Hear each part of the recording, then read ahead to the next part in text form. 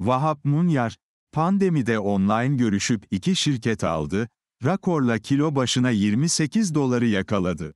Mesan Kilit'in kurucusu Rıdvan Mertöz, şirketini Aralık 2013'te İngiliz Essantra'ya satarken yeni işlere yelken açmayı planlıyordu.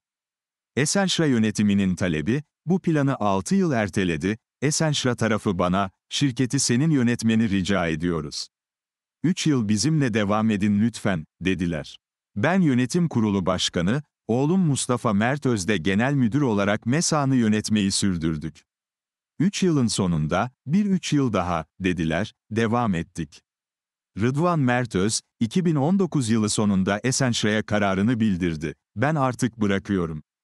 Esenşra tarafı, en azından danışmanlık şeklinde destek vermesini isteyince Rıdvan Mertöz, kurucusu olduğu şirkete katkıyı bu formülle sürdürdü. Derken 11 Mart 2020'de Covid-19 pandemisi Türkiye'yi de pençesine aldı. Tamamen evlerde kapalı kalındığı günlerde Rıdvan Mertöz'ün aklı hep yeni iş alanlarına yönelmekteydi. Mesa'nı sattığı günlerde duygusal açıdan çok etkilenmişti. Artık yeni işlere girmek için kolları sıvamanın zamanıydı. 20 civarında şirketi radarına aldı, online görüşmelere başladı, %50'den fazla hisse satmayız, havasında olan şirketleri eledik. Tıbbi malzeme ve kablo rakoru üreten Bimet ve ambalaj şirketi Betapak ile görüşmelerde kapılar açıldı. İlk aşamada Bimed'in %60 hissesini almaya karar verdik. Betapak'ın da %75'ini almamız söz konusu oldu. Daha sonra Bimed'in vefat eden kurucusunun hisselerini de devraldık. Malatyalı İş İnsanları Derneği Başkanı Yunus Aktaş'la birlikte geçenlerde Rıdvan Mertöz ve Mustafa Mertöz'ü Bimed'in İstanbul'daki merkezinde ziyaret ettik. Rıdvan Mertöz, önce Bimed'in öyküsüne girdi. Bimed, 49 yıl önce medikal ürün alım satımı üzerine kurulmuş. Tek kullanımlık enjektör ithalatı yapmışlar. Zamanla bu enjektörün imalatına girmişler. Masasında duran küçük bir parçayı bana uzattı, Bimed'in şu anda en iddialı olduğu üretim alanı bu, kablo rakorudur. Kablo rakorunun ne işe yaradığını anlattı, kablo rakorları, elektrik kablolarının elektrik panoları, panel, elektrik motorları gibi yerlere girişi ve çıkışlarında, pratik bir şekilde kabloyu sıkarak montajlamayı sağlayan aparat. Bimed'in medikal taraftaki ürünleri arasında akciğer ilacı cihazının da yer aldığını belirtip, 1993 yılına uzandı, 1993 yılında Bimed'in, Rakor ve tıbbi ürün ciroları birer milyon dolarmış.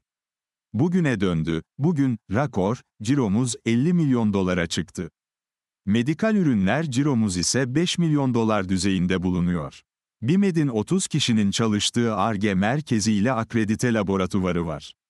Bimed'in Avrupa'da, Rakor birincisi, olduğunu vurguladı, 2022 ve 2023'te can yakan bir ortam vardı. Deprem, memleketimiz Malatya dahil, Kahramanmaraş, Hatay, Adıyaman, İslahiye ve Nurdağı başta olmak üzere 11 ilimizi vurdu. Asrın felaketi çok daha fazla canımızı yaktı. Biz yine de yatırıma devam ettik. Hadımköy'de 15 milyon dolarlık yatırım yaptıklarını kaydetti, yeni tesis Avrupa'nın en büyük, rakor, fabrikası olmaya aday. Bimed'in cirosunun 40 milyon dolarlık bölümünün ihracattan sağlandığının altını çizdi, kablo rakoru, katma değeri yüksek bir ürün. Bu üründe kilo başına ihracat gelirimiz 28 doları buluyor.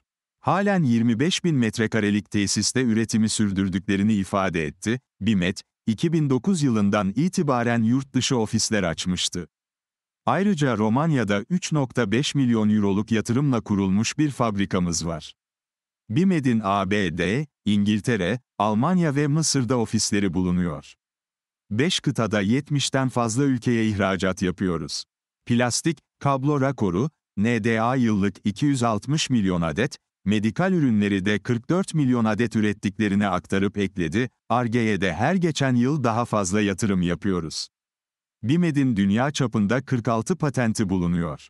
MİAD Başkanı Yunus Aktaş'la yaptığımız ziyarette Rıdvan Mertöz ile Mustafa Mertöz'ü BİMET ve BETAP'ı almaları sonrası üretim, yatırım heyecanının sardığını gözlemledik. Baba oğul Mertözler'in BİMED'deki kilo başına 28 dolarlık ihracat geliriyle göğüslerinin kabardığına tanık olduk.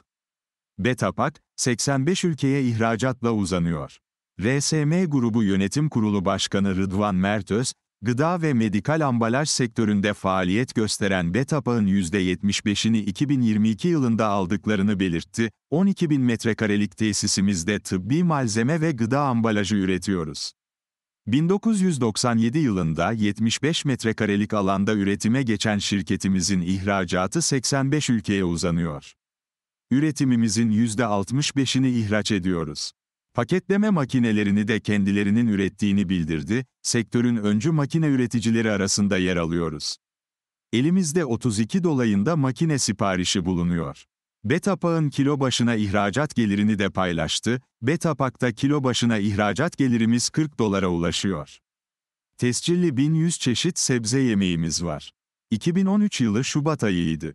Türkiye Aşçılar ve Şefler Federasyonu'nun TÜYAP'ta düzenlediği, Uluslararası İstanbul Mutfak Günleri, ne yolum düşmüştü.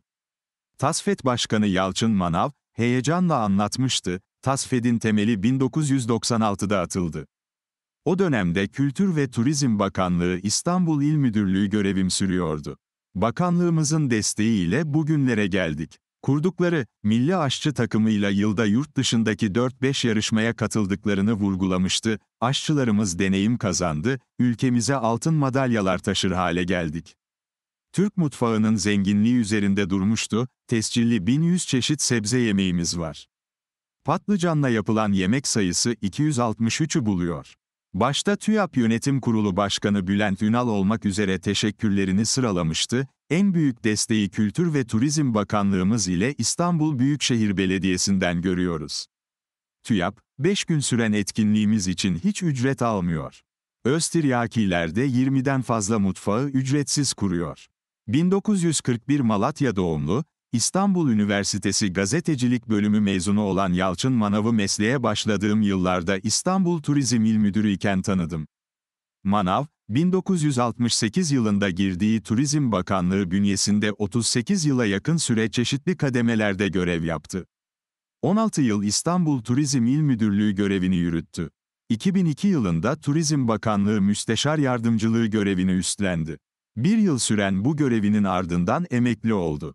Turizm Bakanlığı'nın bürokratik kademelerindeki görevinin yanı sıra sektöre farklı platformlarda büyük emek verdi.